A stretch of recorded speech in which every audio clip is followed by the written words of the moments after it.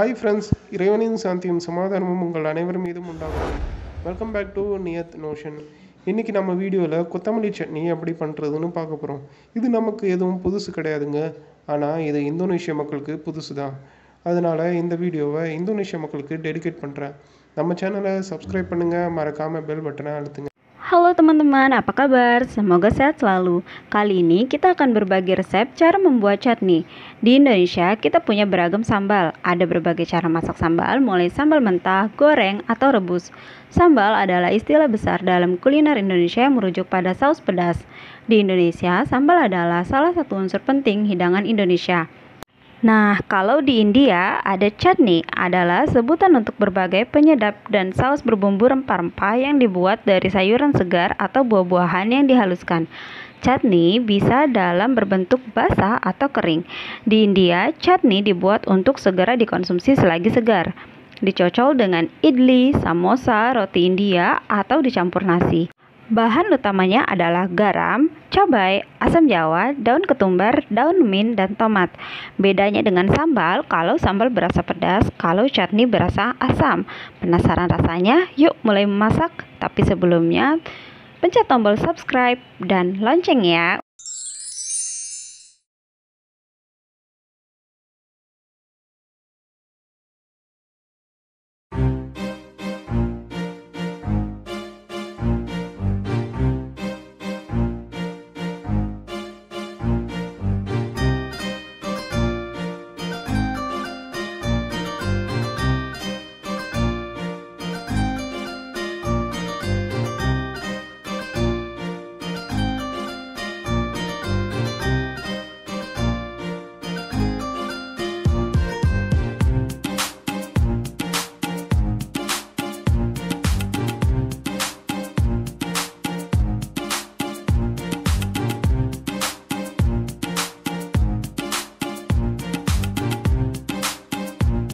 Kita masukkan asam jawa, lalu potongan kelapa,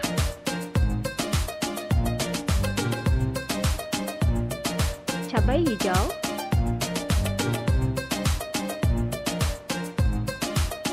dan satu sendok garam. Lalu kita haluskan semuanya menggunakan blender.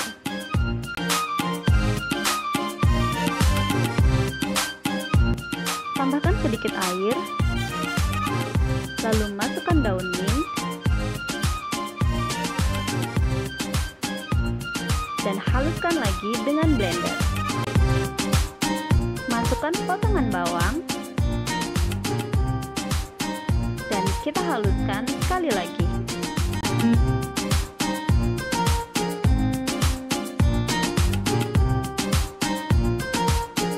Panaskan penggorengan dengan api sedang lalu kita berikan sedikit minyak.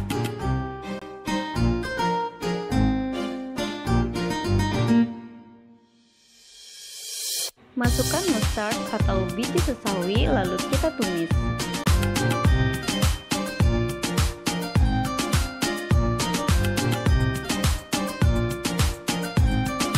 Lalu masukkan bahan-bahan yang telah kita haluskan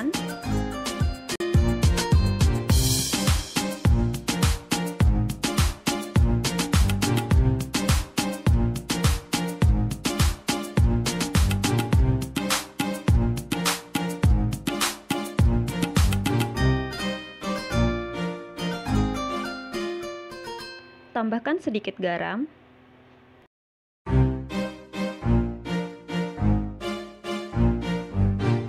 Lalu kita aduk perlahan. Tambahkan sedikit air.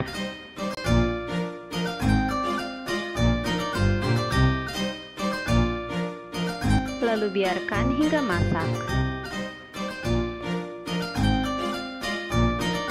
Setelah masak, matikan kompor dan pindahkan chutney ke dalam mangkuk.